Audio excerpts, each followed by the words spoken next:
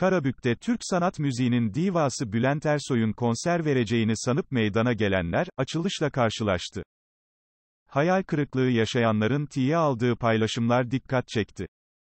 Sosyal medyada Türk sanat müziğinin divası Bülent Ersoy'un, Deniz Sekin'in, Alpay'ın, Maral'ın ve Kobra Murat'ın yer aldığı resimde kent meydanında dev konser paylaşımı sonrası vatandaşlar meydana akın etti.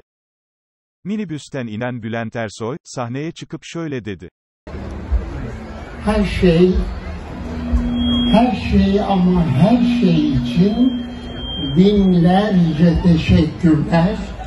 Sizin Bülent'inizin yüreğinden sizler için hissediliyor. Lütfen kabul buyurunuz teşekkürlerimi arz ediyorum efendim. Benim çok değerli dostum, arkadaşım, Türkiye'nin 80 küsur vilayetinde artık yer kalmadı galiba. Tüm açılışlar e, hayırlı uğurlu olsun dileklerimi sunuyorum bütün efkar-ı umumiyenin huzurunda. Efendim, ben ilk defa buraya geliyorum. Ee, bir yeri göremedim. Ee, şeyden, arabadan indim. Şimdi tekrar arabaya binip geri döneceğim. Neleriniz var, ne, nedir, ne değildir hiç bilmiyorum. Evet ama şunu söyleyebilirim ki sizleri gördüm. Bu izdihamı bana yaşattığınız için tekrar tekrar teşekkürlerimi arz ediyorum. Eksi sonsuzdan artı sonsuza kadar efendim. Teşekkürler ediyorum.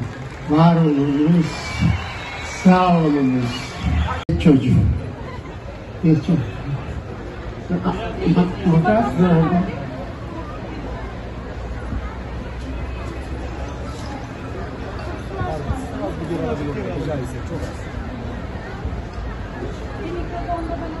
Ver kızım. Anne, geleyim mi?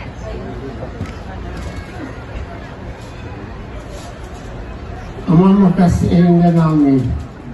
Tuh. Bismillahirrahmanirrahim. Elhamdülillah Rabbil alemin ve rahmanirrahim. Maliki yevmiddin ve tenabudu bilahtimiz. İhdina sıratel müstakim sıratel müzzilerine aleyhim. Gayril mağdubi aleyhim ve lezzalim. Amin. Hayırlar vesile olsun. Ya Allah, Bismillah.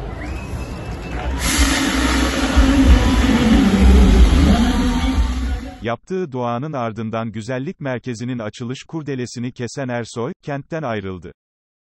Bülent Ersoy'un konser vereceğini sanan hayranları ise büyük hayal kırıklığına uğrayıp evlerinin yolunu tuttu.